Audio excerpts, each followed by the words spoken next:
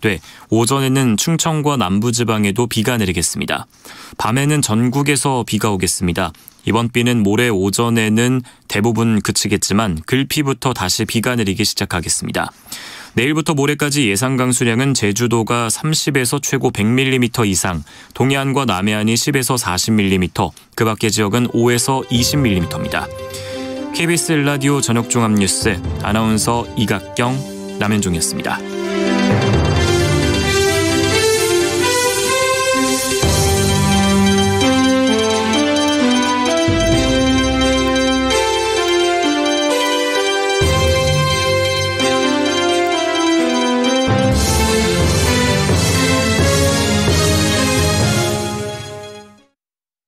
지금 시각은 7시 20분입니다. KBS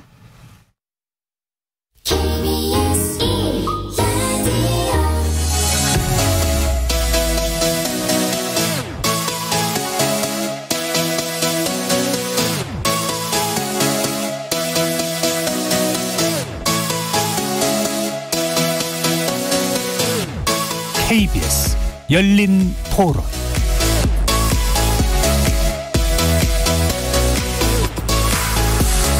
안녕하십니까. KBS 열린 토론 정준희입니다.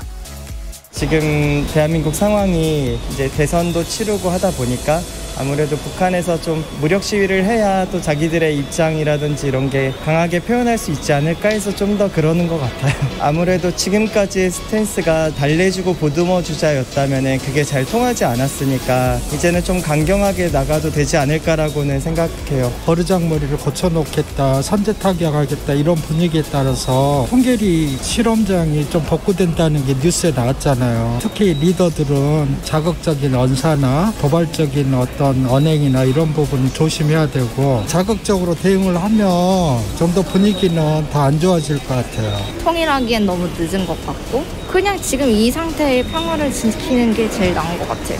북한이 아마 최근에 이제 코로나이기도 해서 아마 국내가 전국이 좀 많이 이제 수습하거나 이런 필요가 있는데 아무래도 외부적인 이슈를 통해서 돌파구를 찾는 게 아닌가 싶고요. 특히 뭐 지금 러시아 뭐 전쟁이나 이런 거로 인해서 지금 해외 눈이 다 그쪽으로 쏠려 있는 상황이어서 아마 좀더 좀 자국의 관심을 높이고 최고의 협상력을 높이려는 뭐 그런 센스가 아닌가 싶어요. 북핵 문제에 대해서 먼저 의제를 합의를 할 수 있는 그걸 해결할 수 있는 협상이 돼야지 뭐 그냥 보여주기식 협상은 이제는 좀 의미가 없는 상황이 아닌가 생각을 해요. 거리에서 만나본 시민들의 목소리 어떻게 들으셨습니까? 북한이 올해 들어 열 번째 미사일 도발을 감행했습니다. 합동참모본부의 발표에 의하면 오늘 북한은 동해상으로 미사일을 발사한 직후 실패했다고 합니다. 최근 북한이 미국 본토를 타격권으로 한 ICBM 발사 움직임을 보인다고 한미 당국이 밝힌 바 있는데요. 북한의 이런 ICBM 도발은 한반도 정세에 시사하는 바가 적지 않을 겁니다. 어제 주한미군이 패트리엇 요격 미사일 훈련 장면을 공개했고 우리 군도 맞대응 차원에서 탄도미사일 시험 발사를 준비 중인 것으로 알려지고 있죠. 자, 이것은 막 대선을 끝낸 우리 정부에게 북한 변수가 큰 부담을 될 수밖에 없는 조건을 만들고 있는데요. 북한이 강도를 높여가며 도발을 하는 이유, 강대강 대치 국면으로 가고 있는 북미 관계 속 차기 정부의 대북 정책 어떤 방향으로 설정해야 될지 네 분의 전문가 모시고 경랑 속으로 빠져들고 있는 한반도 정세 살펴보도록 하겠습니다.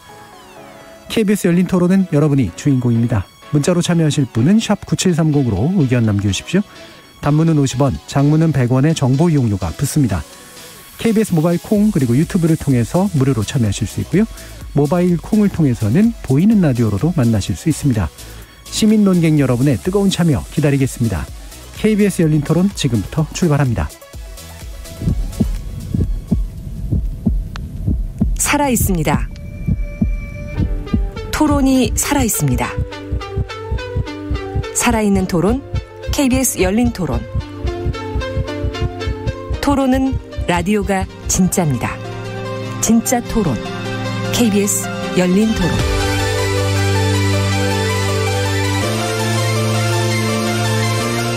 자, 오늘 함께 해주실 네 분의 전문가 소개해 드리겠습니다.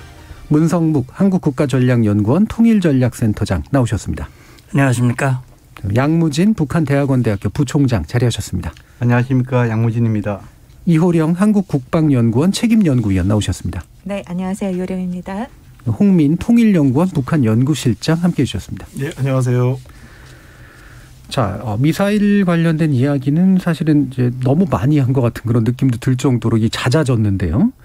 어, 이게 이제 시기가, 어, 이 남북 관계나 북미 관계가 좀 이렇게 전망이 좀 불투명한 상태에서 이제 계속 일어나고 있는 일이고 어쩌면 그것 때문에 일어나고 있는지도 모르겠는데 현재 같은 조건을 일단 어떻게 파악하고 계시는지 어, 문성무 센터장의 말씀부터 한번 들어보겠습니다. 예, 아마 방송 듣고 계시는 우리 애청자 여러분들 또 우리 국민 여러분들 방금 거리 시민들 말씀 네. 들어봤습니다만 걱정들이 많으실 거예요. 사실 북한의 미사일 발사 도발은 유엔 안보리가 금지하고 있는 불법이지 않습니까? 음. 그런 불법적인 행위가 그냥 보란 듯이 이어지고 있고 또 유엔 안보리라든지 국제사회가 그걸 제대로 어, 이 제어하기가 어려운 그런 상황 속에서 이어지고 있다는 것이 우선 가장 큰 걱정 중의 하나고요. 북한이 뭐 2018년 대화가 있었습니다만 2019년, 20년, 작년, 올해 이어서 계속 미사일을 쏘고 있잖아요. 특히 단거리 미사일. 이건 뭐 우리를 향한 직접적인 위협이고 또 특히 김정은 위원장이 전술핵 개발까지 얘기를 했기 때문에 그런 미, 이 미사일 핵미사일 위협이 고도화되는데 오히려 한미 연합 억제력은 약화되는 것이 아니냐. 네. 이 대응이 제대로 되고 있는가 하는 부분.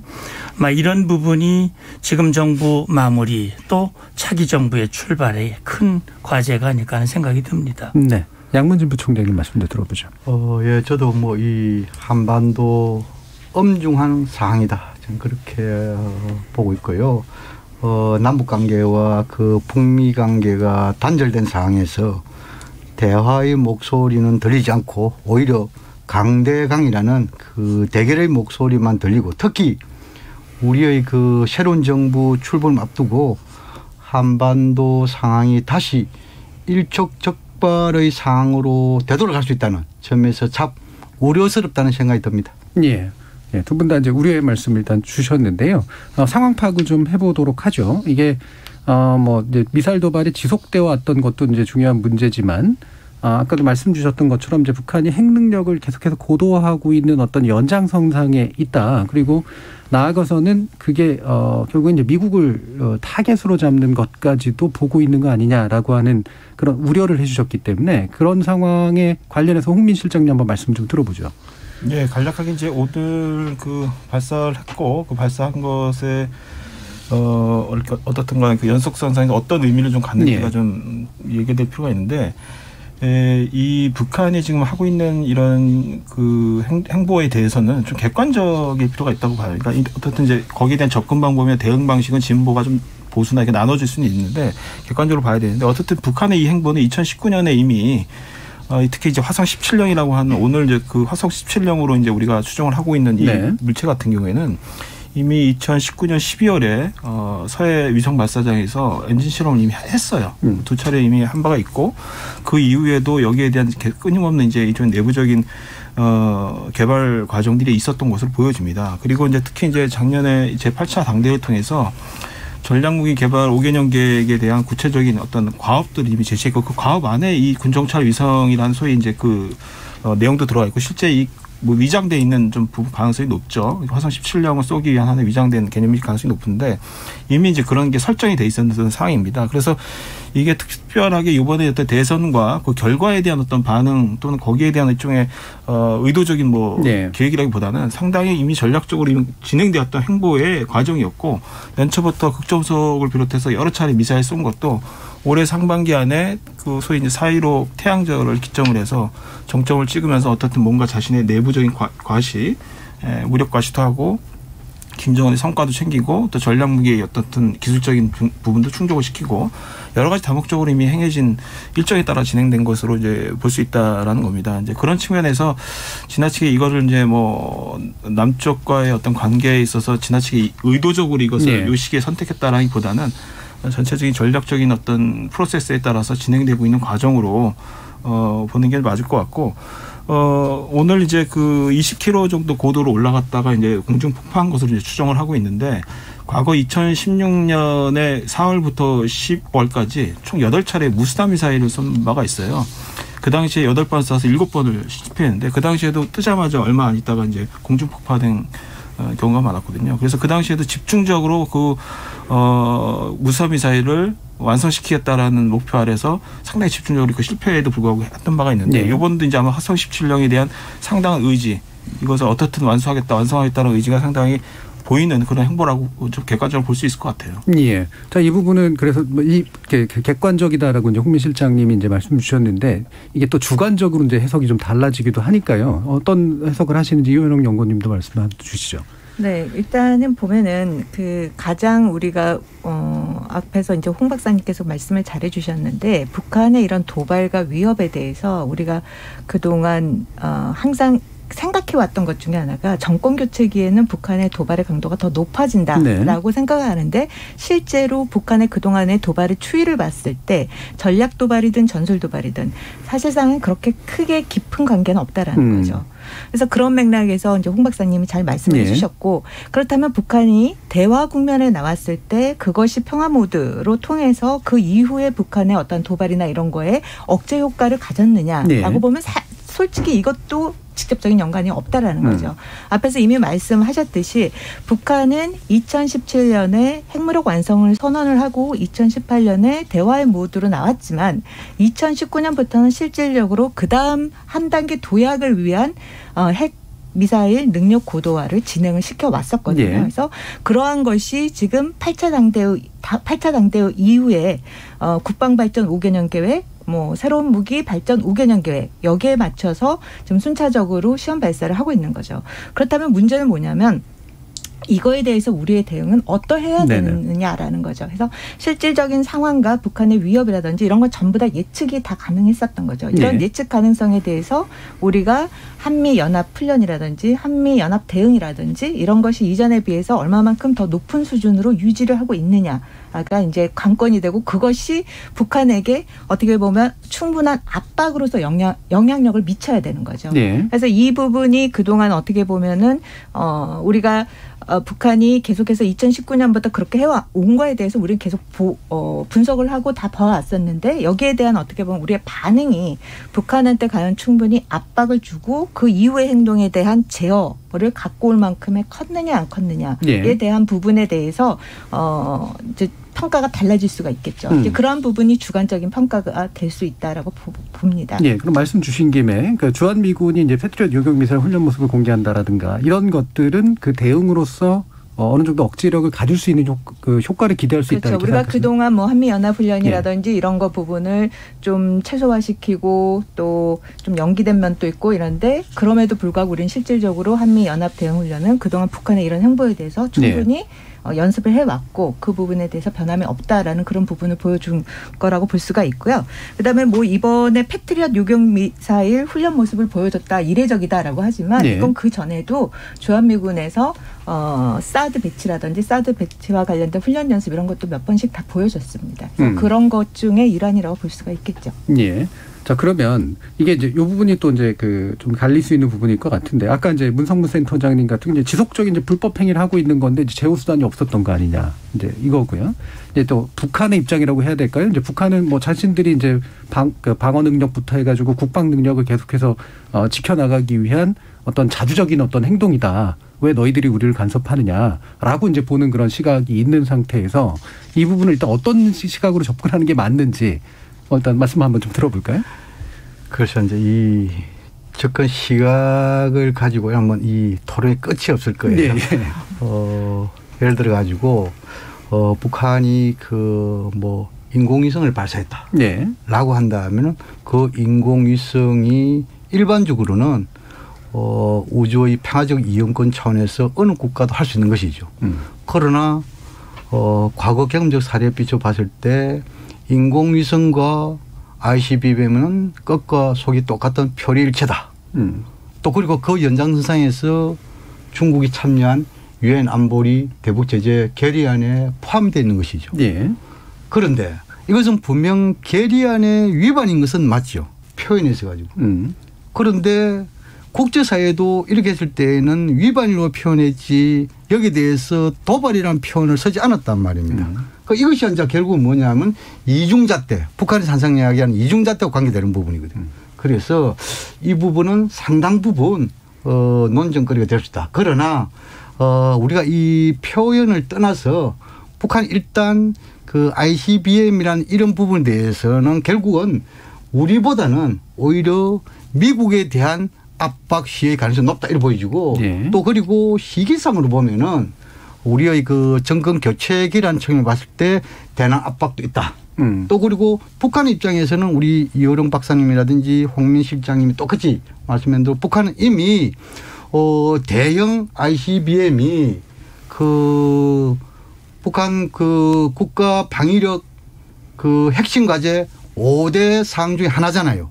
뭐 이런 식으로 할 때는 자체 내부의 수요도 있다 이렇게 봐야 되겠죠. 예. 막 그런 측면 봤을 때 우리는 그 이러한 부분에 대해서 너무 지나치게 이 이중잣대라든지 대응 이런 걸 가지고 토론하면 상당히 어려운 지이기 때문에 네. 오히려 어 일반적으로 우리가 그 강한 안보 선상에서 지금 이제 북한이 이러한 ICBM을 발사한 이런 상황에서 뭐 패트리어트 이런 부분에 대해서 우리도 저 대응을 하고 또 이 한미 이런 그 이 하나의 목소리로 대응도 하고 막 이런 것도 좋습니다. 그런데 이것만 가지고 우리가 북한의 이런 그 이 위반이나 이런 것을 억제할 수 있느냐? 예. 저는 어렵다는 것이요. 그는 과거 경험적 사례 잘 이야기하고 있는 거죠. 예. 다시 말해서 북한이 위반을 하면은 국제사회는 제재를 하고 이것이 악순환이 되면은 결국은 북한은 핵능력이 고도화되고 한반도 긴장은 또 고조되는 것이죠. 예. 그래서 적어도 강한 안보 선상의 억지력과 대화가 같이 가야만이 적어도 예. 억제도 가능하고 문제 해결도 갈 수 있지 않느냐.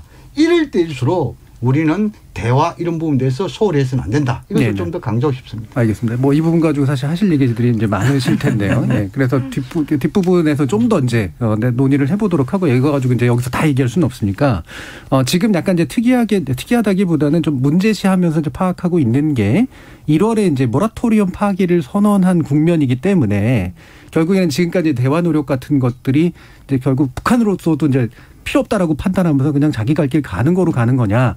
그러면 더 악화되는 거 아니냐 이제 사실 이 부분인 것 같은데 일단 문세상님 어떻게 파악하세요? 예, 그래서 이게 지금 북한 핵 문제를 어떻게 볼 것이냐. 이제 그 관점이라든지 이런 데서 좀 차이가 있을 수 있을 예. 것 같아요. 예, 문제는 이런 겁니다. 이 북한이 NPT에 가입을 했잖아요. 60년대에. NPT라고 하는 것은 핵의 평화적 이용은 보장해 주되 핵무기는 개발하지 않는다는 그런 약속. 그 약속으로 가입이 됐고 네. 그래서 에, 원자료를 지원받고 기술을 지원받고 그러니까 국제사회에 북한은 핵무기를 개발하지 않기로 약속을 한 겁니다. 네. 국제사회 약속을 했고 92년에는 한반도 비핵화 공동선언으로 비핵 예, 핵을 개발하지 않겠다라고 약속을 했어요. 그런데 그 약속을 모두 깨고 핵을 개발했단 말입니다. 불법적인 행위지요. 그리고 그 미사일이라고 하는 것은 그 핵탄두를 실어서 나르는 운반 수단이기 때문에 북한에게 미사일 특히 탄도 미사일 같은 경우는 이거는 어, 허용해서는 안 되겠다. 그래서 국제사회에서 불법으로 규정하고 있는 거거든요. 말하자면 그 이 무기가 경찰이나 군인에게 있으면 그게 국민을 보호하고 치안을 유지하는 무기지만 그게 강도나 불량배의 손에 쥐면 그건 흉기가 되고 위협과 협박이 되는 것이거든요. 따라서 북한은 사실 뭐 분단 이후에 6.25 전쟁을 일으켰고 수없는 도발을 했고 실제 가까이에도 뭐 천안함이라든지 연평도 포격 도발이라든지 또 이 남북 연락섬 폭파라든지 이런 위협적이고 협박적인 행동, 불법적인 행동들을 계속 해왔기 때문에 북한의 그런 것들은 우리가 용인해 줄 수가 없는 것이죠. 말하자면 대한민국이 탄도미사일 쏘고 SLBM 쏘는 거 가지고 문제 삼는 나라가 없습니다. 그럼 북한의 문제가 되는 거죠. 근데 그걸 북한은 이중 기준이라고 지금 반발을 하고 있는 것이거든요. 자, 대화도 그렇습니다. 대화를 통해서 문제를 해결하려고 사실은 2018년부터 남북 정상회담 세 번, 미북 정상도 정상적으로 두 번 만나고 판문점에서 또 만나고 지금 바이든 정부 들어와서도 대화를 하자. 우리는 조건 없이 대화를 하겠다라고 예. 이미 제안을 해놨지만 북한은 상대방이 도저히 받을 수 없는 그 조건을 내고 올거 이를테면 미국에 대해서는 이중 기준을 철회해라. 그다음에 적대 정책을 포기해라. 이런 전제 조건. 우리를 향해서 한미연합에서 연구 중단해라. 첨단 무기 들어오는 거 중단해라. 그런 전제 조건을 내세우고 그런 전제 조건이 되지 않으면 대화하지 않겠다. 라고 나오는 거 지금 현재 북한의 입장이거든요. 예, 거기까지는 됐고요. 예. 예. 그래서 어쨌든 이 부분에 대한 접근의 차이는 있을 수 있습니다. 나머지 예. 얘기는 또 나중에 하죠. 네. 그러면 어 제가 원래 이제 질문을 드렸던 부분은 이게 이게 북한이 그냥 연, 자기 하던 일의 연속선이냐 아니면 이제 거꾸로 돌아가는 것이냐 이제 이 부분이었기 때문에 홍민 실장님 한번 말씀 네, 드려주죠. 그래서 앞서 두 분 말씀하신 건 다 어느 점에서 해석적인 측면에서는 다 예, 예. 뭐 일리가 있다고 봅니다. 어떻든 국제 규범상에서 위반되는 부분이라든가 음. 뭐 이런 부분들은 충분히 납득이 갈 수 있는 말이긴 한데 일단 그런 해석적 채색을 좀 배제하고 네. 아주 이 객관적인 패턴만 좀 우리가 북한을 좀 볼 필요가 있을 것 같아요. 그러니까 그걸 뭐 북한을 두둔하자고 음. 얘기하는 건 안 절대 아니고. 그러니까 지난해 이제 6월 15일이었죠. 그러니까 8기 3차 당 전원회가 열리면서 그 당시에 이제 북- 그 김정은 위원장이 어, 직접 연설을 하는 과정에 이렇게 얘기를 합니다. 뭐라고 얘기냐면 대화와 대결 다 준비돼 있다. 근데 그 앞서서 어떤 문장이 길게 이- 이루어지냐면 굉장히 완곡한 외교적 어법으로 이렇게 얘기합니다. 우리의 국가 조dom과 그리고 우리의 자주적 발전의 이익을 수호할 수 있는 부분과 그다음에 평화와 안전이라면은 대화와 대결 다 준비돼 있다. 이렇게 네. 얘기했어요. 이 말은 뭐냐면 4월 말에 바이든 대통령이 대북 정책 완성됐다고 선언을 했어요. 거기에 대해서 일단 지도자로서 답을 해준 거예요. 대화 다 대결 준비돼 있는데 이런 의지였으면 좋겠다. 어, 우리 국가 존엄, 소위 우리 체제를 비방하거나 우리 체제를 깎아내리기 위한 일종의 행동, 소위 이제 체제를 존- 인정하지 않는 부분들, 자기 발전 이익에 대한 수호는 제재를 통해서 자기 발전 못 하고 있다라는 거예요. 그 평화 안전이라는 건 제도적으로 평화하는 문제라든가 평화 협정을 맺는 문제, 어, 그 안전이라는 건 군사 훈련에 대해 위협을 받는 거 이런 걸 포괄적으로 논의하겠다는 얘기인데 그때 당시에 매 사- 상투적으로 쓰는 대북 적대시 정책이라는 말을 쓰질 않았어요. 음. 그러니까 말은 뭐냐면 결국 바이든 대통령이 대북 정책 완성됐다. 그랬더니 우리도 대미 정책 완성됐는데 이런 내용이면 할 수 있고 아니면 대결도 할 수 있다. 이렇게 얘기를 한 거예요. 그러면 다음 수순은 당연히 미국의 지도부가 답을 해야 되는 거죠. 네. 아 그런 의제라면 우리도 그럼 대화를 하겠다. 근데 답을 하지 않았어요. 어, 그리고 답을 하지 않았기 때문에 북한은 어떤 면에서는 전략 무기를 개발하기 위한 프로세스는 짜여져 있었지만 어떻든 대화의 여지를 갖고 있었던 부분은 분명히 작지만 있었다고 봅니다. 음. 근데 거기에 대한 화답이 이루어지지 않는 과정에서 어떻든 정치적으로 뭔가 문제를 풀어갈 수 있는 여지가 이 정부에서는 없구나. 음. 소위 바이든 정부를 기대하기는 매우 어렵구나. 그리고 또 그 당시에 이제 북중 간의 갈등 문제도 아니, 미중 간의 갈등 문제도 있었지만 러시아 사태가 상당히 러시아가 예. 상당히 이제 위태위태하게 그 나토 동진에 관련돼서 어, 우크라이나에 대한 문제 제기를 하고 있는 상황이었어요. 그래서 북한이 보기에는 미국의 집- 그 대북 정책 집중력이 거의 없다고 본 거였어요. 그래서 어떤 면에서는 올해 들어와서 과감하게 연초부터 1월 1일부터 극초음속으로 쏘기 시작한 거는 대화를 할 수 없는 지금 미국의 상- 상대로 해서 대화를 종용하는 방식보다는 어떻든 자기 무기 개발을 먼저 안수하는 네. 우선 강해지겠다는 거거든요. 음. 그렇게 가는 것이 맞다라는 쪽으로 이제 선택한 것이고 중요한 전략적 패턴 변화가 있어요. 뭐가 발견되냐면 이중 규진을 얘기하기 위해서는 행동으로 그거를 어, 상대한테 환기를 시켜줘야 되는데 뭐가 있냐면 우리가 SLBM 실험을 하면은 바로 유사 무기로 어, 동일하게 대응 무기 내지는 유사 무기로 그걸 실험을 하는 방식. 네. 그리고 요번에 이제 이 군 정찰 위성도 상당히 설정 자체가 그 굉장히 계획된 부분이 있어요. 뭐가 있냐면 6월에 우리 누리호가 발사 예정이 돼 있습니다. 그리고 2023년에 초소형 군 위- 정찰 위성이 우리 한국에 첫 개발 어, 예정이 돼 있습니다. 그러니까 어떻든 자신들이 그런 위성 개발에 있어서도 우리도 똑같이 할 수 있다.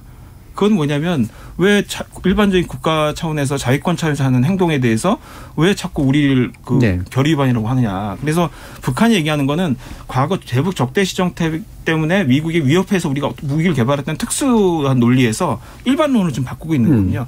자위권 차원의 일반 국가들이 하는 논리를 이제 바꾸려고 하는 거거든요. 그래서 저는 이런 논리가 결과적으로는 북미 협상에서 있던 어, 자신들의 레버리지를 상당히 높여서 장기적으로는 향후의 협상을 군축이라 핵군축이라든가 핵 그 군비 통제로 몰아가려고 하는 어, 의도가 장기적으로 있다고 보는데 예. 그럼에도 불구하고 저변에 깔려 있는 것은 정치적 협상 가능성 자체를 문 닫고 있는 건 전혀 아니라는 거예요. 음. 그러니까 여기에 대해서 규범 국제 규범에 대한 우리가 강조할 필요 있지만 충분히 거기에 관련된 균형 있게 대화 협상에 대한 부분도 역시도 상당히 준비될 필요가 있는 거라는 거죠. 예. 자, 그럼 짧게만 이제 정리를 해 주시면서요. 이게 어 이제 그 미, 남, 남한이나 그러니까 우리나 아니면 미국을 보고 그냥 한번 끌어내기 위해서 한번 던져보는 도발이냐 아니면 어차피 이제 당분간은 대화가 불가능할 것으로 보고 자신 갈 길이 그냥 계속 가기 위한 치- 행동이냐 두 가지가 다 있는 건가요? 아니면 어느 하는 건가요? 그러니까 5년을 얘기했잖아요. 음. 그, 그 작년 지난해죠. 지난해 8차 당대회 통해서 5년 오, 국방 발 무기 발 국방 발전 과학 발전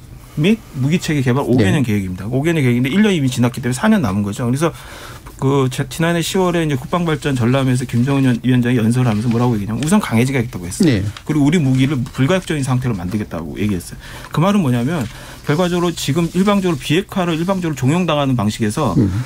동등하게 위협을 서로 줄여가는 방식의 교환 구도를 만들고 싶어 하는 거거든요. 네. 그러려면 다종의 무기를 일단 확보하고 우선 강해지겠다. 그리고 더 이상 한미가 어 비핵화를 일방적으로 요구하는 방식에서 벗어나겠다라는 음. 거군요. 그러니까 결국은 이거는 향후 5년 안에 자신들이 목표라는 전략 무기 개발, 개발을 완수해서 협상의 수준을 달리하겠다라는 그게 이제 근본, 근본, 그 공적인 목표인데 여기에 협상이 완전 배제된 게 아니거든요. 네네. 네, 네. 공적으로 협상의 측면을 고려한 것이고 미국을 경유하지 않고서 정상적인 국가 활동하기에는 사실 어려운 거거든요. 네. 그래서 저는 협상의 궁극적인 목표는 있다라고 생각을 합니다. 네, 네. 양 교수님. 어, 우리 그 홍민 실장님의 그 분석에 좀 더 그 첨가하자면은 북한이 지난 1월 19일 날 그 당 정치국 회의를 했습니다. 그 정치국 회의에서 중요한 결정을 하게 됩니다. 첫 번째가 뭐냐 하면은 대미 선제적 신뢰 조치 중단을 검토하겠다 했습니다. 네. 그게 뭐냐 하니까 어 신뢰 조치로서 그 풍계리 핵실험장 이거 복구하는 문제에 대해서 검토하겠다는 게 네. 있고 또 하나는 뭐냐면 그 철산 그 이 서해 위성 발사장 이 또한 복구 이걸 검토하겠다 이랬어요. 이것이 뭐냐면 이것을 완전히 검토하겠다 이에 대해서 우리가 대적해 봐야 되고 두 번째로 문제가 뭐냐 하면은 북미 정상 간의 합의 사항이 다시 말해서 핵과 ICBM 모라토리엄 이 부분에 대해서 해제도 검토하겠다 되었습니다. 해제하는 것이 이제 검토하게 됐다. 네. 그리고 더 나아가서 지난 2월 27일과 3월 5일 그리고 오늘까지 북한이 정찰 위성을 가장해가지고 세 차례 ICBM을 발사했단 말입니다. 이것은 어찌 보면은 살라미 전술을 펼치고 있다 봐야 됩니다. 예. 왜냐하면 과거에 이런 위성을 쏘면은 한 번은 그 이 대규모 엔진 시험을 하고 두 번째 투샷으로 보통 발사를 합니다. 그런데 지금까지도 뭐냐면 ICBM 화성 17형 이것을 발사하면서 계속 성능 시험에서 살라미 잘잘 잘라가면서 지금 하고 있단 말입니다. 이것은 뭐냐? 결국은 북한이 지금 먼저 하는 행위는 제발 북한이 레드라인을 넘지 않도록 미국이 북한의 손을 좀 더 잡아달라는 그런 간접적인 메시지가 담겨 있는 것이 아닌가 저는 그렇게 네. 분석을 합니다. 좀 더 협상을 필, 끌어내기 위한 어떤 이제 자세로 지금 얘기하셨기. 때문에 약간 더 강도가 높게 말씀하셨고요. 아마 두 분 하신 말씀 많을 텐데 일단 이호령 광고님 말씀 듣죠. 네, 저는 이 물론 대화가 매우 필요하죠. 모든 음. 국면에서는 항상 대화는 필요하고 외교는 열려 있고 그렇기 때문에 외교의 외교를 항상 강조를 하죠. 근데 문제는 북한의 그런 행동에 대해서 모든 거를 그렇게 대화 가능성, 북한이 대화를 원하는데 우리가 제대로 대응 대응을 안 해줘서 대화가 어렵다라고 그런 네. 식의 평가랑 판단을 하기에는 굉장히 조심할 부분이 많다라는 음. 거죠. 음. 그래서 어, 북한이 그 동안에 지금 어떤 뉘앙스를 넣었지만 그 뉘앙스에 맞춰서 우리가 대화 국면으로 들어간다고 했을 때 북한이 그 다음 스텝이 항상 중단이 되거나 아니면 그 이전 상태로 다시 되돌아가면서 어.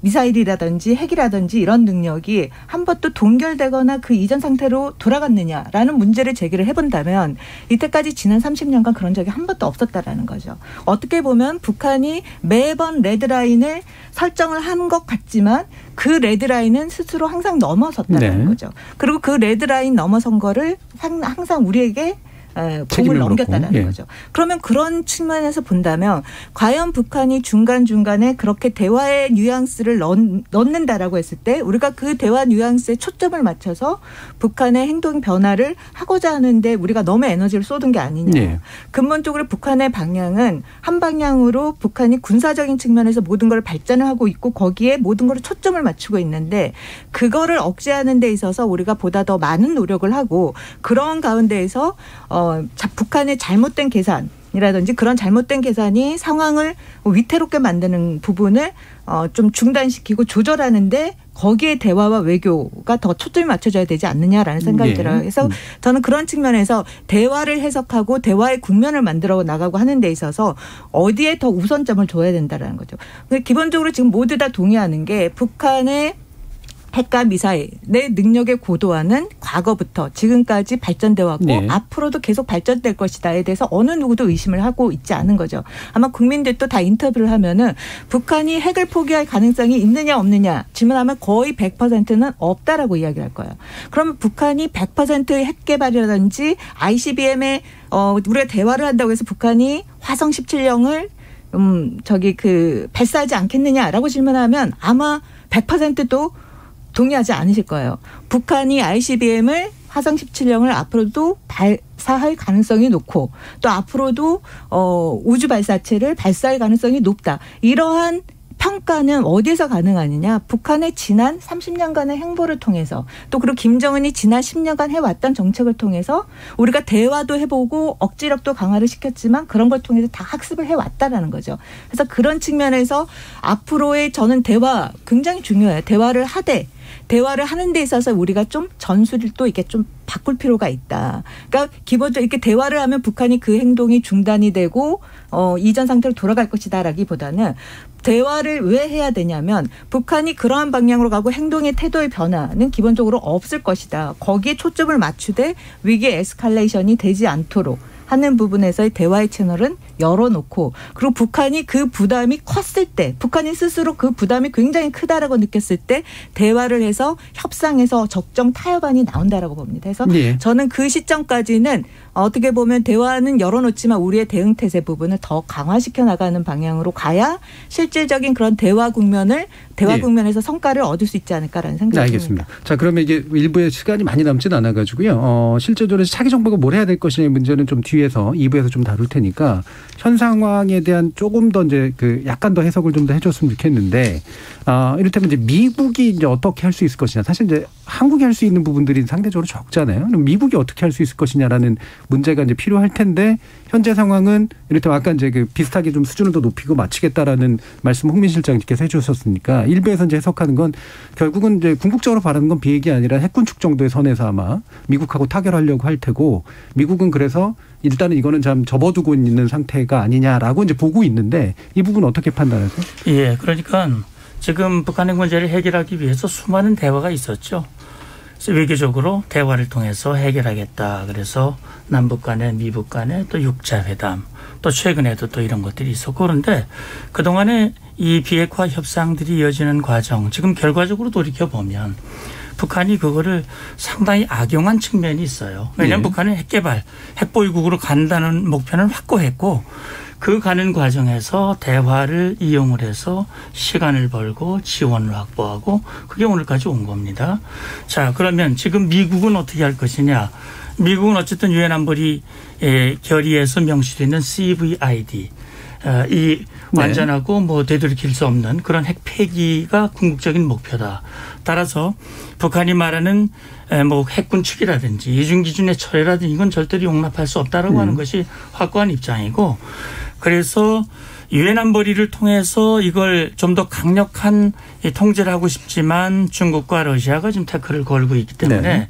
그게 제한이 되니까 나머지 동맹국들과 힘을 합쳐서 거기에 대한 대응을 특히 이제 우리 새로운 정부에 대한 기대감이 좀 큰 것 같습니다. 제가 볼 때는 엊그저께 중국 양지에츠를 설리번 그 보좌관이 만나서 사실 중국이 키를 쥐고 있다고 보거든요. 예. 예 중국이 유엔 안보리 제재를 제대로 제대로 이행을 하고 예, 북한의 행동을 두둔하지 않고 오히려 통제하는 조치를 취한다면 이 상황이 어느 정도 조절이 될 수 있을 텐데 따라서 미국은 일단 중국을 통해서 이 문제를 해결하기 위한 그런 시도 그 다음에 북한이 레드라인을 완전히 넘어서서 문제가 될 경우 더 강하게 예, 조치할 수 있는 다시 말하면 외교적인 조치 또 군사적인 조치 군사적인 조치는 뭐 공격이 안 되는 것보다는 예. 이제 한미연합 연습이라든지 여러 가지 그런 조치들을 지금 구상하고 있는 걸로 알고 있습니다. 예. 자 그러면 이제 미국은 지금 우크라이나 때문에 정신이 없을 거다. 어떻게 보세요, 홍시 홍시 예. 근데 실제 그 그렇지는 않고요. 음. 오히려 이제 올해 극초음속 미사일 발사 이후에 미국 당국도 상당 부분은 일정 부분 이제 경각심을 가진 것으로 예. 보여집니다. 예. 그래서 어 1, 2월에 걸쳐 가지고 상당 부분 이 동북아의 전력을 상당 부분 증강을 한 음. 부분이 있습니다. 그래서 실제 그 전에 이제 항, 항, 항공모함을 동원한 훈련도 어, 여러 차례 했고 또 실제 남중국해 인근에 두 척의 항공모함들이 계속 선회하는 부분도 있고 또 어, 괌하고 주일 미군 기지에 지금 전략 폭격기라는 이런 부분들을 증강 배치하는 부분도 있었습니다. 이거는 어떻든 우크라이나 전선이 있기 때문에 여기에 음. 집중하고 있는 듯 보이지만 동북아에서 중국의 움직임도 있고 또 북한이 어떤 일을 벌일지 모르기 때문에 여기에 대한 대응도 이미 1, 2월에 상당 부분 전력 증강을 통해서 대비하고 있는 부분이 있다라는 겁니다. 예. 그래서 저는 뭐 우크라이나 사태가 어떻든 뭐 북한에게 뭔가 활용 기회가 아니냐. 음. 그래서 지나치게 우크라이나 때문에 북한이 마치 이런 도발 시점을 굉장히 음. 어, 정한 것처럼 보여지도록 이렇게 해석하는 경우가 있는데 사실 지금 우크라이나 사태가 그렇게 만만한 상태가 아닙니다. 네. 오히려 러시아가 상당히 공지에 몰릴 가능성이 높고 이게 많이 장기화될수록 어, 국제사회에서의 유엔 특히 이제 국제기구에서의 러시아의 입지라는 건 굉장히 더 좁아질 가능성이 높습니다. 그렇게 된 경우에 기존에 이 사태가 없었다면 오히려 러시아나 중국이 보호막을 쳐줄 수 있는 부분들이 오히려 선상이 될 수 있고 네, 네. 중국도 역시 거기에 대해서 과거처럼 북한을 더 이렇게 음. 보호막을 쳐줄 수 있는 상황이 아닌 안 될 가능성이 높습니다. 그래서 오히려 우크라이나 사태의 장기화는 북한에게는 더그 도발이라든가 이런 음. 행동을 하기엔 더 적절하지 않는 적절하지 환경이 만들어지는 것이기 때문에 우크라이나를 너무 적극적으로 이렇게 해석하는 방식은 음. 적절하지 않다고 보고요. 예. 앞서 이제 이효령 그 박사님께서 얘기하신 부분 저는 동의합니다. 그러니까 아마 진보 보수를 다 떠나가지고 사실 억제 강한 억제를 갖고 경고를 해야 되는 부분과 그다음에 대화 해법을 마련하는 이 두 부분에 대해서 다 같이 가야 된다는 걸 부정하시는 분은 없다고 봅니다. 근데 다만 이제 딱 하나를 생각해야 되는 부분은 어 미국 북한이 그런 얘기를 해요. 그러니까 김정은 위원장이 얘기한 게 뭐냐면 자신들의 그 지금 정책은 대, 대미 정책은 미국의 대북 정책 미국의 국내 정치 그리고 주변의 지금 정세를 보고 자기들은 결정했다 이렇게 얘기를 하거든요. 그 말은 뭐냐면 적절하게 지금 돌아가고 있는 미중 전략 경쟁 구도라든가 또 미러가의 대치 구도도 상당 부분 잘 활용하겠다는 의도는 분명히 배어 있어요. 다만 중요한 건 뭐냐면 이 과정이 우리가 뜻하는 방대로 억제하고 대화를 다 동원해서 우리가 한국 주도로 뭘 할 수 있는 여지가 네, 네. 그닥 많지 않다라는 음. 겁니다. 오히려 미국 입장에서는 상당 부분 11월 대, 중간 선거를 앞두고 있기 때문에 북한 문제가 불거지는 거에 대해서 어떻든 지금 현상을 동결시키고 싶고 현상을 억제하고 싶은 욕구가 굉장히 강할 가능성이 높습니다. 이것까지 많이 불거져서 전선이 굉장히 다중화된다라면은 미국한테는 굉장히 외교적인 그 성과를 그 정리하는 데서 굉장히 치명적이거든요. 네. 근데 그런 측면에서 미국도 갖고 있는 현실적인 이해가 상당 부분 또 있을 수 있고 이것도 우리가 고려해야 된다는 것이고 또 하나는 우리가 의도하지 않게 대화보다는 억지나 또 강경한 대치 쪽으로 흐를 수 있는 가능성이 굉장히 높습니다. 우리 의도와는 상관없이 네. 그런 측면들을 고려해야 되고 또 하나는 뭐냐면 어, 현실론입니다. 이게 뭐냐면 미국 내에서도 사실 우리 한국 사회에서는 한반도 비핵화라는 것이 굉장히 원칙적으로 다 동의하는 바이죠. 그리고 저도 이제 동의를 합니다. 그건 반드시 이루어져야 된다고 보고 있고 그런데 이게 이제 학설적으로든 정책적으로는 볼 때 핵 군비 통제나 핵 군축이라는 용어가 비핵화와 다른 얘기가 아닙니다. 음. 사실은 음. 궁극적으로 비핵화는 비핵화한 것이고 다만 그 가는 과정들을 기존에 있던 핵 군축 프로세스라든가 핵 군비 통제 프로세스를 적절하게 이것을 도입해서 그 과정을 좀 예. 정리해서 갈 것이냐. 예, 최종 단계가 이런 차이는 좀 있을 예. 수 있는데 그것이 지나치게 뭐 비핵화가 아니라 다른 길다 이렇게 그래서 뭐 핵을 용인한다 이렇게 보는 건 미국이 그렇게 단순한 국가가 아니거든요. 예. 그래서 저는 이제 그런 측면에서 우리 국민들이 너무 오해를 하는 부분들은 좀 부식을 돼야 된다고 보고 핵 완전한 비핵화, 비핵화는 궁극적인 목표다. 다만 가는 과정을 좀 현실화해야 되는데 지금 북한처럼 핵이 고도화돼서 다종화되고 어, 다양한 무기를 가지고 위협을 할 수 있는 수준에 있는 국가라면은 과거 6개월에 비핵화시킬 수 있다. 1년에 비핵화시키다. 굉장히 비현실적인 방식이 될 가능성이 높아요. 그러니까 현실적인 방법을 찾아갈 수 있는 좀 더 실용적인 음, 접근이 좀 필요하지 않나라는 생각이 들고 그 실용적인 접근 과정에 우리가 의도, 주도할 수 있거나 우리가 의도할 수 있는 쪽으로 갈 수 있는 대화 해법 이걸 좀 더 공간을 많이 만들어낸 쪽으로 예. 가려면은 알겠습니다. 지나치게 강경한 입장만을 표명한 것이 과연 적절한가 하 이거는 예. 좀 고민을 해봐야 된다는 것이죠. 예. 앞에서 이제 발언하신 분에 대한 이제 이야기들을 다 하고 싶으시긴 할 텐데 뒤에서 이제 결국은 대화와 플러스 뭐냐 이제 이 부분에 대해서 차기 정부에 대해서 얘기를 좀 해보도록 하고요. 일본이 그러니까 많이 남지 않았으니까 두 분께 다시 또 정리해서 약간 압축해서 미국과 기타 주변국들은 어떤 행동들을 보일까에 대해서 좀 말씀을 주시죠. 이호령 강관님.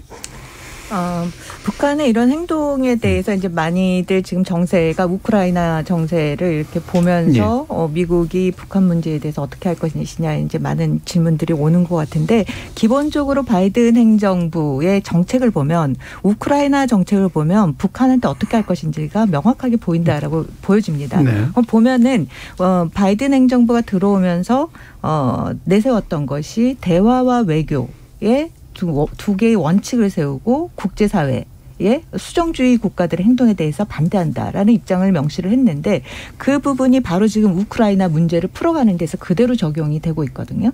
그리고 그렇기 때문에 어 no-fly zone을 요구를 하고 있지만 나토가 그 부분에 휩쓸리는 거를 반대하기 때문에 철저히 외교적인 부분으로만 얘기하고 거기에는 명확한 입장을 제시하는 거죠. 음. 그런 점에서 굉장히 원칙적인 입장을 내세우고 있는데 그다음 북한 문제를 어떻게 바라볼 것이냐. 북한에 대해서도 똑같이 적용하리라고 보여집니다. 우크라이나 사태를 봤을 때 미국이 북한에 대해서도 일단 대화와 외교의 원칙을 이야기하고 최종 목적은 굉장히 비핵화인 거죠. 비핵화에 방점이 놓여져 있기 때문에 그 부분과 관련돼서 미 바이든 행정부가 북한이 ICBM을 발사를 하기 전이나 하기, 한 이후나 행동에 있어서 크게 변화가 없고 지금 말한 이 원칙에 기반해서 할 거라고 보는 거죠. 그래서 음. 결국엔 북한이 어, 미국의 행동을 보고 우리가 대화를 할 건지 앞으로 대결의 자세로 가져갈 것인지를 판단하겠다라고 음. 하면서 이중 적대시 정책 철회하고 어, 그 다음에 어, 이중 기준 정책 철회해라라고 두 가지를 제시했는데 이 두 가지를 조건시키는 조건들이 뭐냐에 대해서는 이야기를 하고 있지 않은 거예요. 음. 결국에는 북한이 거기에 대해서 미국한테 공을 던졌지만 조건이 뭔지를 이야기를 하지 않은 네. 상태에서는 지금 미국이 계속 할 수 있는 거 원칙적인 입장에서 대화와 외교를 이야기를 하고 있는 상황인 거죠. 네, 양총장님. 네. 그 강장관님 말씀드리겠습니다. 음. 그 제재와 대화 있어 가지고 역사 경험적으로 대화를 했을 때는 북한의 핵 능력이 완화됐습니다. 대결할 때는 더욱더 고도화됐죠. 두 번째, 미국의 이 일종의 그 북한의 무력 시위에 대해 가지고 과연 미국이 북미 정상 합의 사항에 대해서 얼마나 합의를 지키기 위해서 노력했는가 되돌아봐야 됩니다. 그다음 두 번째, 미국이 대화의 문을 열어놓고 조건 없는 대화를 이야기했는데 정말 진정성 있게 대화에 관심을 가졌냐. 이것도 미국이 되돌아봐야 됩니다. 세 번째, 제재와 관련해 가지고 만약 북한이 무력 실현 상태에서 국제 규범의 위반 상에서 제재를 한다. 이 제재에서 효과가 내려면은 중국이 반드시 참여를 해야 됩니다.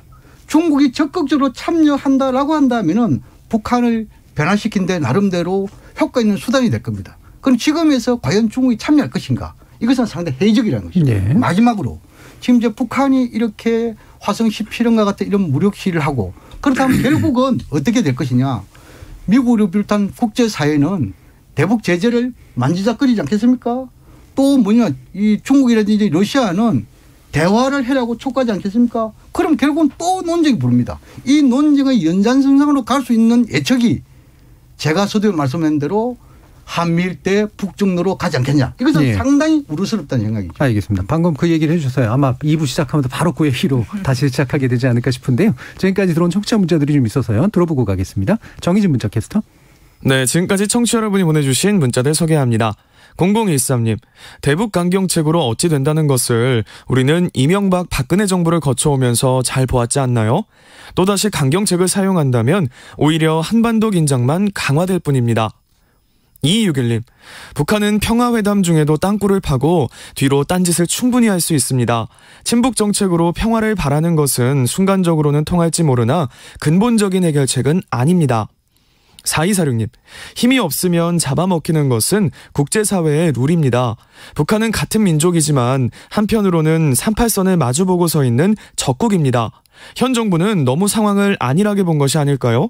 북한은 핵을 보유하려는 적국이라는 사실을 잊지 말아야 합니다.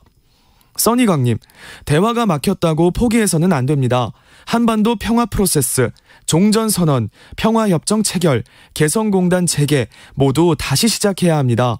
그때만큼 한반도에 평화 무드였던 적이 있었나요? 힘들지만 다시 돌아가야 합니다. 7228님, 한국의 국방력이 세계 6위라면서 왜 북한에는 저자세만 유지하는지 의문입니다. 북한이 미사일 쏘면 큰 소리 내고 경고해야 하지 않습니까? 세상 만지고님. 미국은 현 상황의 유지 관리만 중요할 뿐이지 적극적으로 나서거나 손을 잡아줄 것 같지 않습니다. 우크라이나 사태를 지켜보면 더더욱 그렇습니다. 라고 보내주셨네요. 네, KBS 열린 토론. 이 시간은 영상으로도 생중계하고 있습니다. 유튜브에 들어가셔서 KBS 일라디오 또는 KBS 열린 토론을 검색하시면 지금 바로 토론하는 모습 보실 수 있습니다. 방송을 듣고 계신 여러분이 시민 농객입니다. 계속해서 청취자 여러분들의 날카로운 시선과 의견 보내주세요. 지금까지 문자캐스터 정의진이었습니다. 토론이 세상을 바꿀 수는 없습니다. 하지만 토론 없이 바꿀 수 있는 세상은 어디에도 없습니다.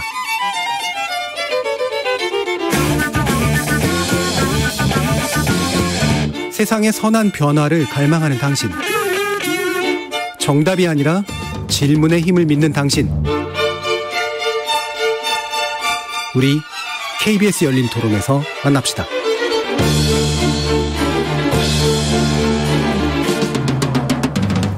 KBS 열린 토론 양무진 북한대학원대학교 부총장 이후령 한국국방연구원 책임연구위원 홍민 통일연구원 북한연구실장 문성무 한국국가전략연구원 통일전략센터장 이렇게 네 분의 전문가와 함께 북한 문제 그리고 한반도 정세 관련된 문제 살펴보고 있는데요.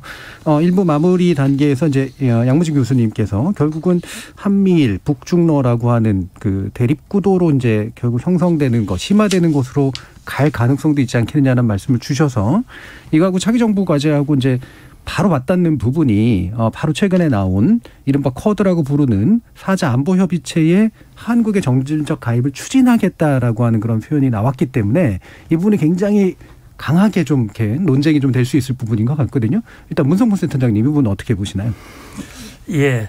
어, 앞서 이제 양 교수님이 전반적인 그 평가를 예. 해 주시면서 하신 말씀 중에 제가 조금 부연해서 말씀드리고 싶은 얘기는 뭐냐면 사실은 2018년, 2017년까지는 북한이 핵무력을 완성을 하고 또 트럼프 대통령도 전쟁이 일어날 수 있는 걸 자기가 막았다라고 얘기를 했지요.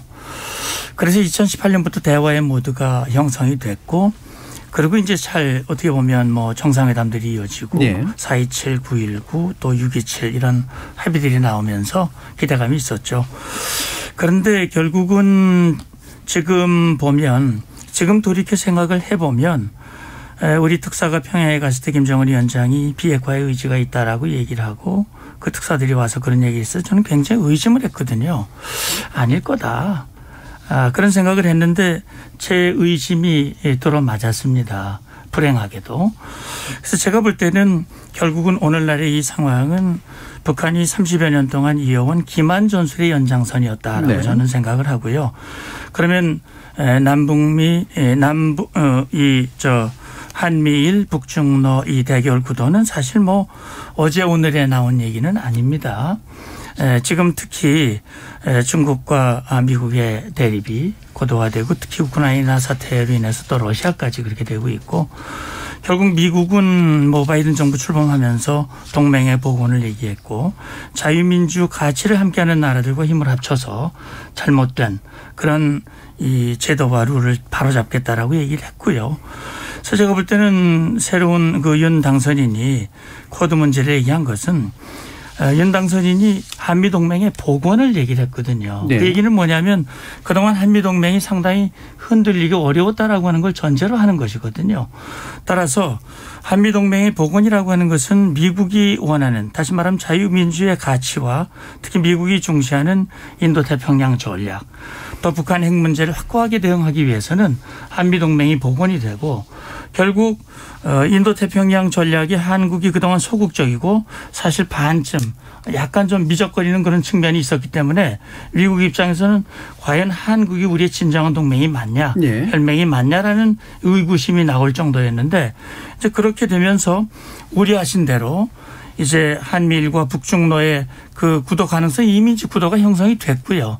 다만 이 과정에서 얼마나 이제 접점을 찾아가면서 문제를 해결할 것인가 하는 문제인데 저는 그 과정에서 중국과 특히 북한의 이 선택이 전 중요하다고 생각을 합니다. 예. 그러면 이제 쿼드 문제를 얘기해야 되기 때문에 분산되면 안 되지만 기만 전술이라는 적극적으로 기만 전술을 썼다라고 말씀 주셔서요. 북한의 입장에서도 에너지를 엄청나게 쓴 일이잖아요. 하노이라든가 이런 것들 하려면 기만 전술을 굳이 써가지고 얻는 게 뭘까요? 어, 그러니까 비핵화를 하겠다고 하면서 미국 대통령과 정상회담이 성사가 되지 않습니까? 예. 성사가 돼서 정말 김정은 위원장이 은둔의 지도자로부터 전 세계의 주목을 받는 지도자가 됐고, 자 그것을 또 북한 내부에서도 엄청난 그 업적으로 자랑을 하고 있고요. 그런데 결국 그렇게 하면서 2019년 2월 하노이 노딜 이후에 북한이 단거리 미사일 발사하기 시작합니다. 그다음에 그 전에 그 짧게만. 예. 그러니까 그 속여서 결국은 얻은 게 아니요. 그러니까요. 음. 얻은 게 그겁니다. 가장 큰 것이 뭐냐면 어, 모라토리움을 얘기하고 트럼프 대통령이 싱가포르 그 회담에서 한미연합 연습을 중단하겠다고 약속을 해줍니다. 예. 그래서 그동안 한미가 유지해왔던 3대 연습이 있습니다. 키리졸브, 폴리글, 그다음 UFG. 그다음에 한반도에 전개하는 예, 미국의 전략자산 일체 전개하지 않았거든요. 훈련은 잠시 멈춘 게 소득이라고 보시는 멈춘 게 건가요? 아니라 중단이 돼버렸죠. 예. 그러니까 다시 말하면 실병 기동이 없는 그런 한미연합 연습을 중단시키고 한미동맹을 이관시키고 이것은 북한으로서는 굉장히 큰 이득이고 중국도 마찬가지 전략적 이익이라고 봅니다. 알겠습니다. 자. 그러면서 핵 단거리 미사일 계속 발사하니까 트럼프가 그건 누구나 다 하는 거야. SL, SLBM 발사해도 그냥 눈 감아주고 결국 2, 3년 동안 미국 제재를 한 게 없습니다. 네, 알겠습니다. 네. 자, 홍민 실장 다시 쿼드 문제로 좀 가보죠. 예. 네. 그래서 그 뭐 쿼드를 얘기하기 전에 이 북, 미중 간의 이 갈등 구도라는 것이 이 과거 냉전하고는 완전히 다른 개념입니다. 그러니까 어떻든 국제적인 자본주의 질서 안에서 같이 그 판 위에서 헤게모니 싸움 사실상 지- 예, 세력 싸움을 하는 것이죠. 그래서 어떻든 그 질서를 서로 이용하고 그 질서를 판 위에서 어떻든 결정이 돼야 되기 때문에 근본적으로 과거의 냉전 시절의 어떤 그 구도하고는 기본적으로 다르다. 근데 그 안에서 그럼 그 판 위에는 북중만 있는 것이 미중만 있는 것이 아니잖아요. 한국도 같이 있는 것이란 음. 말이죠. 근데 그 자본주의 세계 질서라는 거는 경제적인 무역 또는 뭐그 군사적인 것까지 포함해서 굉장히 다차원적인 것이 결합되어 있는 하나의 질서인데 그 안에서 한국이 어 굳이 이제 쿼드라는 특정한 어떤 그 지역 전략에 예. 굳이 그걸 가담해서 그 이 전체 판에서의 갖는 여러 가지 경제적인 여러 가지 네트워킹 돼 있는 그 체제 내에서의 불이익을 계속 감수할 수 있느냐라는 부분들이 있는 것이고요. 또 하나는 뭐가 있냐면 이거보다 좀 더 더 앞서서 선제적인 자주적 외교 저- 철학을 먼저 제시하는 것이 더 필요하지 않나라는 음. 생각이 듭니다. 그보다는 그러니까 어느 어느 쪽에 가담한다라는 논리로서의 어 가부를 따지는 개념이 아니라 좀 더 선제적인 외교 철학을 가지고 우리가 어떤 공간을 우리는 원칙으로 삼고 있다라는 네. 걸 먼저 밝히는 것이 오히려 더 중요하다고 보거든요. 근데 지금 이제 어떻든 대선 국면이나 기존의 어떤 그 정치권에서 나오는 논리들은 대부분이 그런 선택의 논리에 치- 치우쳐 있다는 것이죠. 그래서 우리가 어떤 외교적 공간 안에서 자주적으로 우리의 공간을 만들어야 되는지에 대한 선택이 필요한데 음. 지금 쿼드는 그것과는 상당히 사- 상관없이 선택의 문제에 마치 하나의 그냥 그, 그 문제를 지금 취급하고 있다라는 것이죠. 이제 그래서 여러 가지 그 북- 미중이 갖고 있는 겨- 전략 경쟁의 구도라는 그 자체 판을 좀 더 본다면은 그렇게 지역적으로 어느 특정 관에서 가담하는 것에 유- 유불리를 따지는 부분은 음. 상당히 그 적절하지 않다라는 생각이 좀 듭니다. 네, 이호룡 의원님. 음. 저는 조금 생각이 틀린데요.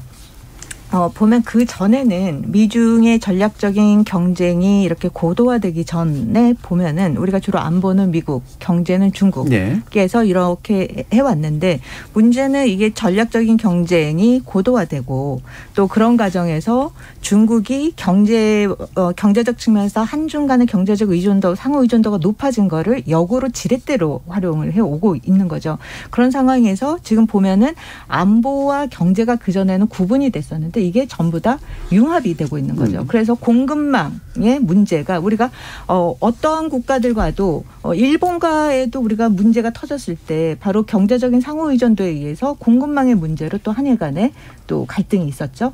이제 이런 식의 문제를 고려해 본다면 단순히 우리가 쿼드에 가입하느냐 안 하느냐 예, 이런 문제로 바라보기보다는 우리가 경제와 안보가 이제 융합이 되고 그런 가운데서 어 경제 이제 특히 반도체라든지 이런 것들이 4차 산업으로 가면서 이제 더 이상 경제와 안보가 더욱더 분리가 되지 않는다라는 거죠. 그런 기술, 경제, 안보 이런 것이 하나의 체인으로 같이 움직이고 있, 있는데 이러한 상황에서 우리가 어, 북- 어 미국과 중국의 이러한 관계 속에서 우리가 어느 부분에 더 어, 많이 어느 부분에 더 개입을 했을 때 우리 국익이 더 높아지는지에 대한 계산이 필요한 거죠. 그런 측면에서 앞에서도 어, 홍 박사님께서 말씀하시는 게 어, 우리가 좀 전반적으로 우리가 국익을 높이고 네. 전략적인 어, 이득을 높이기 위해서 어떤 그림을 갖고 그러한 측면에서 쿼드 에 직접적으로 가입을 하는지 아니면 쿼드 안에 또 여러 개 섹션이 있는데 그 섹션에 우리가 들어가는 게 맞는 건지를 예. 좀 종합적으로 계산을 할 필요가 있다. 음. 그리고 또 하나 추이는 지금 트럼프 행정부에서 바이든 행정부에 들어오면서 모든 게 플러스가 되고 있는 거죠. 쿼드에서 쿼드 플러스, 파이브 아이즈에서 파이브 아이즈 플러스.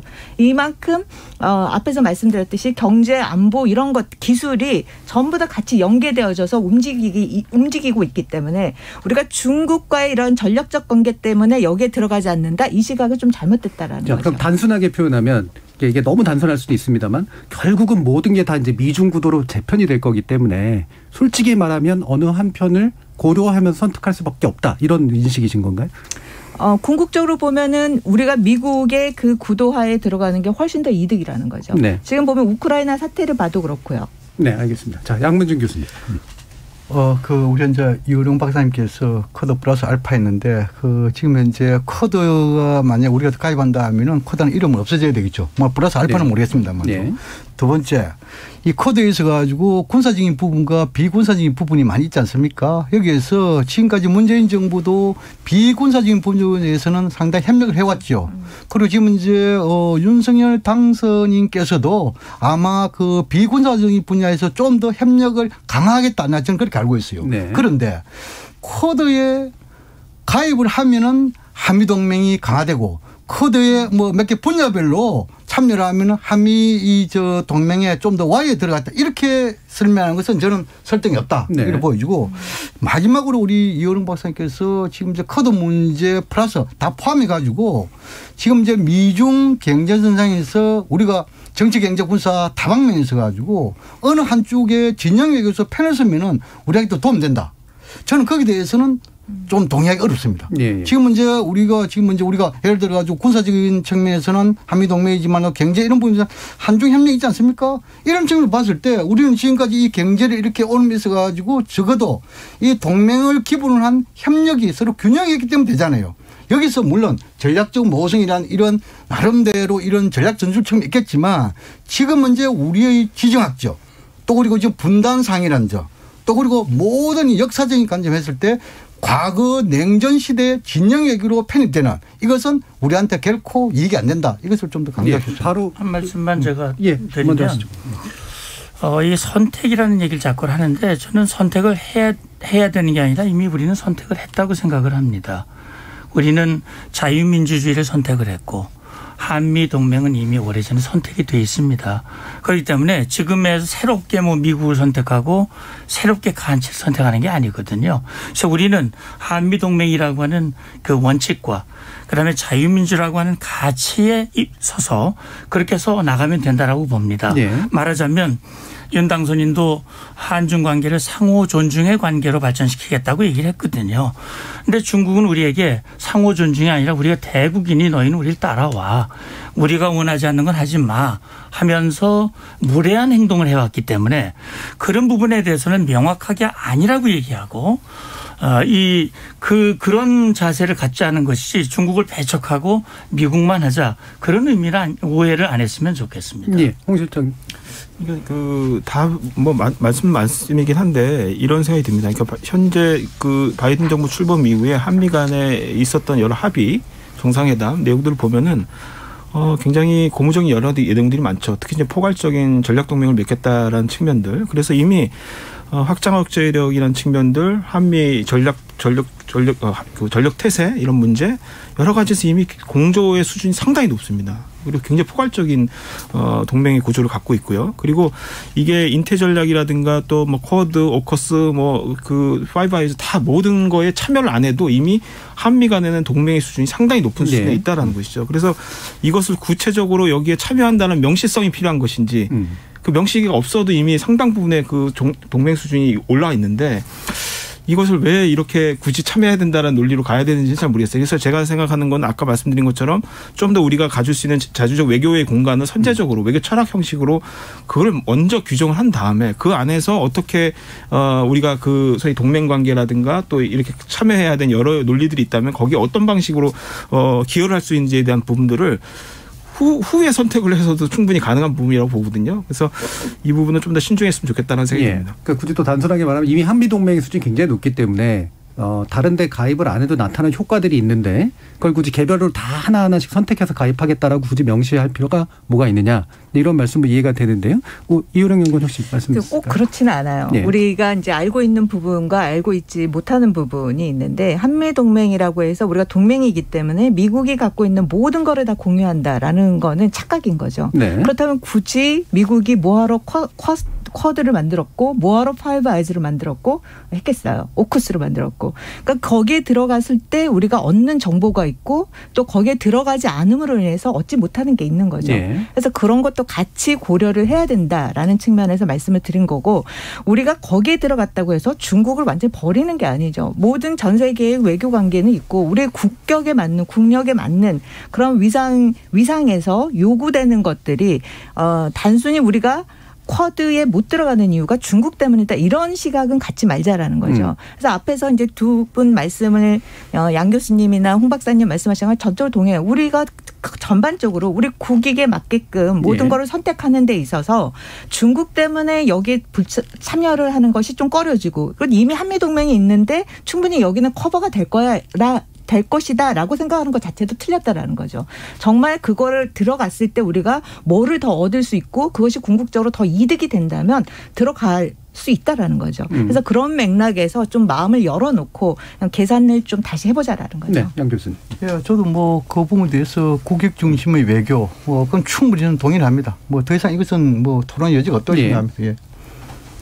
네, 알겠습니다. 자 그러면 한 가지 더 짚어주셔야 될 게 지금 어, 새로운 당선자가 힘에 의한 평화라는 표현을 썼잖아요. 근데 이게 뭐 무조건적인 어떤 무력을 강조한 표현은 아니라고 생각이 들고요.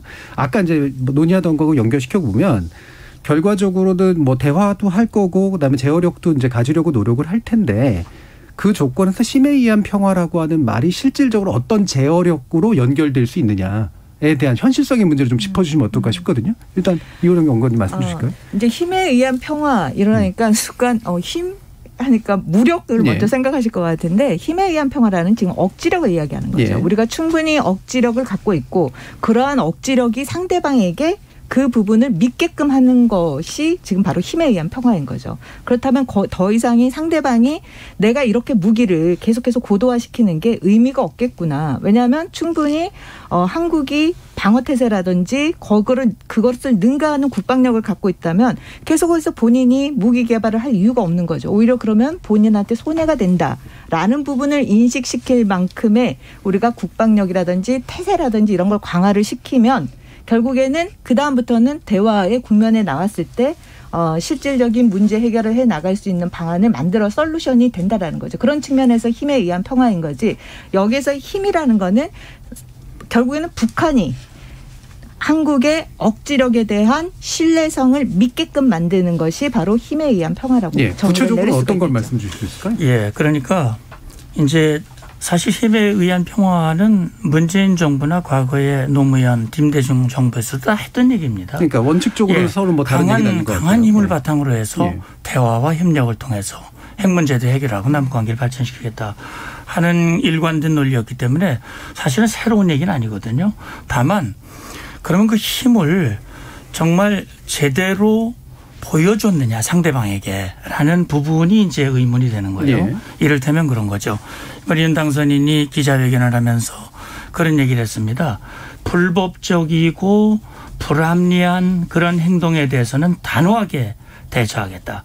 다만 대화의 문은 열어놓겠다 얘기를 했거든요. 그러니까 구체적인 걸 자꾸 그러니까 구체적인 게, 음. 구체적인 거 그러니까 말하자면 북한이 도발을 하면 도발을 통해서 얻는 것보다는 잃는 게 훨씬 많다라는 판단을 하게 되면 도발을 자제하게 되거든요. 예를 들어서 예. 예를 들어서 2010년에 천안함 폭침 도발이 있었고 연평도 포격 도발이 있었습니다. 그 후에 에, 정부가 뭐라고 얘기냐면 도발의 원점과 지원 세력과 지휘 세력까지 완전히 타격하겠다고 강력하게 얘기를 하고 실제 행동으로 보여줬거든요. 사실 상당 기간 동안 원점이 노출되는 그런 도발을 북한이 하지 않았습니다. 그, 그 북한이 네. 그동안 행태를 보면 말하자면 지금 그 북한의 잘못된 행동에 대해서 정말 후회할 만큼의 뼈저린 그런 아픔을 느끼게끔 어, 그런 의지도 있고 능력도 있고 그 행동으로 보여준다라고 하는 예를 것이 예를 들면 발사체를 쏘면 어떤 행동이 그걸 보여줄 수 있나요? 예 그렇다면 그거는 지금 이 유엔 안보리 제재 결의가 지금 사실은 제대로 작동이 안 되고 있지 않습니까? 특히 중국에 의해서. 네. 지금 미국은 여러 가지 때문에 아, 중국을 향한 secondary 보이콧 이런 것들을 지금 굉장히 그 주머니 유보하고 있거든요. 이번에도 러시아에 대해서만 secondary 보이콧을 했지 중국은 안 했단 말이죠. 그래서 이 불법적인 행동에 대해서 그걸 비호하고 두둔하고 역할을 안 하면 거기에 대해서 명확하게 대가가 지불될 수 음, 있도록 훨씬 더 강력한 제재가 필요하다 정도로 저는 일단 이해가 네. 되고요. 두 분께도 또 마무리 처럼 예. 얘기를 들어야겠네요. 그 힘에 의한 평화란 것이 그 이 강조점에 차이가 있어요. 네. 예를 들어 가지고 힘에 의한 그 힘과 대화가 함께 가면은 그것이 억지란 측면이 강할 수 있고 그러나 따로 가면은 이것은 뭐냐 상대방의 압박하는 힘이 될 수 있어요. 그걸 알아야 되고 그다음 지 뭐냐면 우리가 이 힘과 평화 연장에 보면은 평화를 지키고 만드는 게 있지 않습니까? 예를 들어 평화를 지킨다라고 한다면 이거 힘과 관련되는데 이것은 뭐냐 그냥 강력한 국방력과 튼튼한 한미 동맹이 되겠죠. 그런데 이제 평화를 만든다는 것은 대화와 협력 아니겠습니까? 근데 지금은 이제 예를 들어 가지고 좀 진보적인 이런 정부 입장에서는 이거 소위 말 평화를 지키고 만드는 게 한계 같단 말입니다. 그런데 보수 진영의 정부 있을 때는 따로 갔단 말이에요. 그런 측면에서 오히려 뭐냐 하면 힘에 의한 평화를 강조하는 보수 정권일 때는 오히려 군비 경쟁을 갔다고. 그 이런 것이 상당히 우려스럽다는 거예요. 예. 예. 홍민 실장님. 네. 그래서 뭐 힘을 힘에 의한 평화라는 것은 이건 뭐 어느 정부도 부정한 적이 없고 음. 이걸 어떻게 이제 소위 이제 프레임화 시켜가지고 정책적으로 이제 기조화시키고 보여주느냐의 문제가 예. 상당히 다를 것 같아요. 그러니까 이 현재 문재인 정부도 이미 국방 중장기 계획이라든가 여러 과정을 통해서 우리 전력 증강에 대해서는 굉장히 심혈을 기울여 왔고 어, 한미 동맹 역시도 상당히 포괄적인 동맹 형식으로 해서 여러 그 동맹의 어떤 튼튼함을 다져왔습니다. 그렇기 때문에 이게 특별히 뭐 힘을 통한 평화, 힘을, 힘에 의한 평화를 전 정부는 안 했는데 이 정부가 이제 그 새롭게 이제 새로운, 새로운 정부가 한다 이런 개념보다는 예. 상당히 이미 연속성을 갖고 이제 진행되어 온 부분이 있다라는 거고, 어, 북한이 이제 지난해 그 5월이었죠. 이제 한미 정상회담을 통해서 어, 800km 미사일 사거리 해제를 했습니다. 상당히 저는 충격을 많이 받았을 거라고 보여요. 왜냐하면 이, 이, 이게 사실상 북한이 이후에 태도에 상당히 영향을 미친 부분이 네. 있다고 봐요. 그러니까 어, 어떻든 이렇게 이제 자극적으로 보여주는 방식으로의 힘을 강조하는 평화를 얘기할 것이냐 아니면은 일단 이 힘을, 힘을, 힘에 의한 평화는 이미 구조적으로 이미 진행되고 있는 하나의 계획이기 때문에 이것을 표명하는 방식을 좀 다른 어, 프레임을 통해서 보여줄 것이냐. 이 차이가 분명히 있다고 봐요. 그래서 저는 오히려 어, 힘에 의한 평화도 있지만 평화를 위한 위협 감소에 대한 어떤 그 프레임도 충분히 균형 있게 가지고 있어야 된다고 봐요. 음. 그래서 어떻게 하면 서로 위협을 일단 줄일 것인지에 대한 문제를 얘기를 해야 되거든요. 일방적으로 비핵화를 요구하는 방식도 있지만 한편에서는 이것을 좀 더 현실적인 방식에서 어떻게 좀 위협을 줄여갈 수 있는지에 대해서 좀 평화를 위한 위협 감소에 대한 부분을 좀 더 더 프레임화 시킨다면은 우리는 이미 진행하고 있는 힘에 의한 평화가 있는데 굳이 이것을 전면에 내세우는 방식으로 해서 상대에게 마치 상당히 강압적으로 우리가 뭔가 힘에 의해서 압도적인 억제력으로 제압하겠다는 쪽으로 보이는 것보다는 좀 더좀 좀 균형 있는 좀 프레임이 좀 필요하지 않나 이런 생각은 좀 듭니다. 예. 그럼 마지막 이호령 연구원님 첫 발언 하셨으니까 예. 약간 보완하실 부분이 있으시면 네네. 한 40초 정도. 아, 일단 예. 그 힘을 통한 평화가 강조된 부분 중에 하나는 다 평화 만들기, 평화 지키기는 다 역대 정부에서 다 유지가 되어 왔어요. 다 강조가 되어 왔었는데 문제는 뭐냐면 북한이 그동안에 핵미사일 능력 고도화시키면서 강압을 한 거죠. 대남, 맨 저 대남 정책에 있어서. 그러면 이런 강압 눈으로 보여지는 강압에 대해서 우리는 어떻게 했느냐에 대한 그 부분에 좀 숙제를 풀 필요가 있다. 그런 측면에서 항상 우리가 튼튼한 국방 위에 튼튼한 안보 위에 남북 관계 발전과 남북 관계 대화를 만들어 왔는데 정말 이 튼튼한 이 부분이 좀 보여졌느냐에 대해서는 여러 가지 의견들이 있거든요. 그래서 이 부분을 일단 좀 튼튼하게 보여주고 그러고 나서 대화의 예. 국면을 만들어 나가는 것이 어, 서로에게 전부 다 좋지 않을까라는 생각이. 듭니다. 예. 그 궁극적인 목표는 비슷한데 역시 뉘앙스가 조금씩은 다른 요소들이 좀 있는데요. 아, KBS 열린 토론 오늘 토론은 이것으로 모두 마무리하겠습니다. 오늘 함께해 주신 이호령 연구위원님, 홍민 연구실장님, 문성문 센터장님 그리고 양무진 부총장님 네 분 모두 수고하셨습니다. 감사합니다. 감사합니다. 수고했습니다. 안 풀려도 이렇게 안 풀리는 게 또 있을까 싶은 영역 중에 하나가 바로 이 남북 관계가 아닌가 싶은데요. 국내 대부분의 정파가 결국 평, 평화와 공존을 이야기하지만 제각각 내심 바라는 바도 또 옳다고 믿는 수단도 다르죠. 정책적 연속성도 매우 떨어지기도 하고요. 게다가 남북 관계라고 말했지만 실은 남북 당사자들 사이에서 합의와 결단을 이룬다고 해서 해결될 수 없는 문제가 많기도 합니다. 솔직히 내가 키를 잡으면 문제를 해결할 수 있다. 자신하는 정책 주체가 정말 있을까요? 어떤 방향으로든 겸허해지면 좋겠다는 생각 듭니다. 지금까지 KBS 열린 토론 정준이었습니다.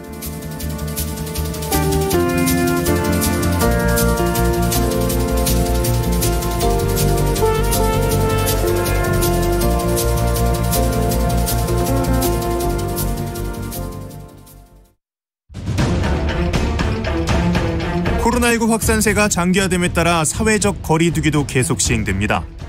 현재 수도권과 비수도권 상관없이 사적 모임은 6명까지만 가능합니다. 식당과 카페, 각종 유흥시설과 실내 체육시설 등은 밤 11시까지 영업할 수 있습니다. 코로나19 백신 접종 완료 또는 PCR 음성 확인서를 가리키는 방역 패스는 중단됐지만 3차 접종은 계속 진행됩니다. 18세 이상의 성인은 예방접종 사전 예약 시스템을 통해 접종 예약이 가능하고 자녀 백신을 활용하면 당일 접종도 가능합니다. 오미크론 변이에 의한 확진자가